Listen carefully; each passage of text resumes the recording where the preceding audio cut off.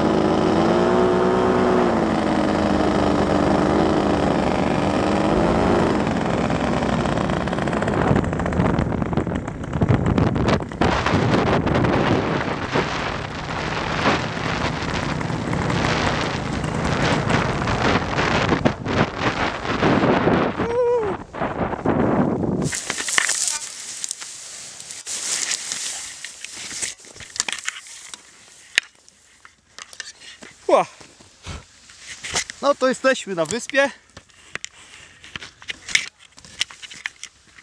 Ach.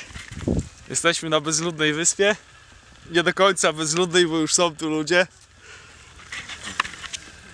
Ach. Cześć, mam nadzieję, że czeka na mnie jakaś kiełbasa. No właśnie, już zjedliśmy wszystko. Jaki typ? Trzeba było poczekać, bym ci Icka ustawił.